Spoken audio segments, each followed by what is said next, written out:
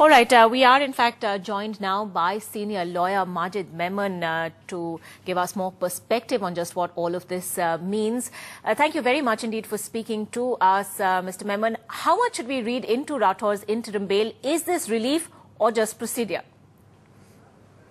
Now let us understand where do we stand today. First, I must convey to your channel to the viewers that on this new day of a new decade, uh, let us not consider this development as a setback to justice seekers of uh, Aradhna and all her uh, supporters.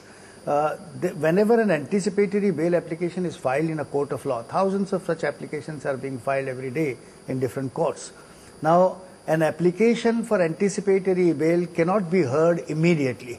It needs to be uh, heard by, you know, asking both the sides, the petitioner, that is the accused, and also the state or the other parties, you know, who should come prepared to advance their submissions on the merits of the plea of the accused. Now, in this case, today Rathod has been given interim bail and probably a panic button seems to have been pressed and the whole nation probably even Aradhna have seen is rather rather dejected, disappointed, but I think there is no reason. This is no setback. Please remember that today's protective order is only in the nature of a relief granted for sustenance of his anticipatory bail application which is to be kept alive for hearing on a future date that is on the 7th. Now it remember that grant of such interim bail is no guarantee of ultimately succeeding in bail.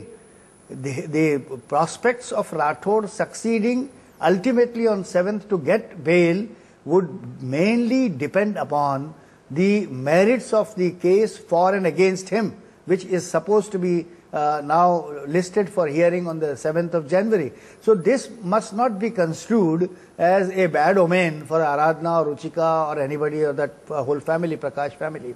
I but think what, till what 7th... What your message to Ruchika's friends and family at this point? Yeah, I must, I must tell Ruchika's lawyers, Ruchika's supporters that uh, please ensure that the public prosecutor who represents the state is uh, sufficiently briefed with regard to each and every development relating to the case, all the facts and circumstances relating to the offense are properly placed, marshaled before the court to oppose bail.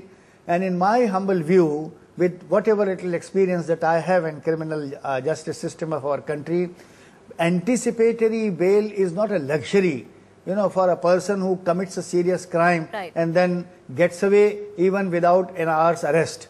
Anticipatory bail is granted in a very selective uh, matters uh, where special cases made out for exercise of discretion against right. arrest of a person. Right, Here, Rathod, we, we all know legally what could happen to Rathod next? For example, if he's charged for abetment to suicide under 306 of the Indian Penal Code, can he still be arrested?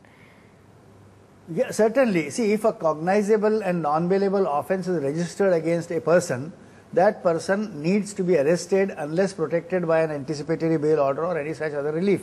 Now, in this case, we all, the whole nation, whole country has been witnessing over the last fortnight that uh, number of things are surfacing, although belatedly, that there was tremendous pressure used by this accused during all that period post molestation and pre suicide of uh, uh, Ruchika.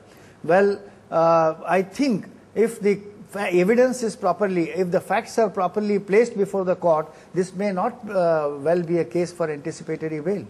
All right, Mr. Memon, thanks so much for joining us with your views on that case. Tubar.com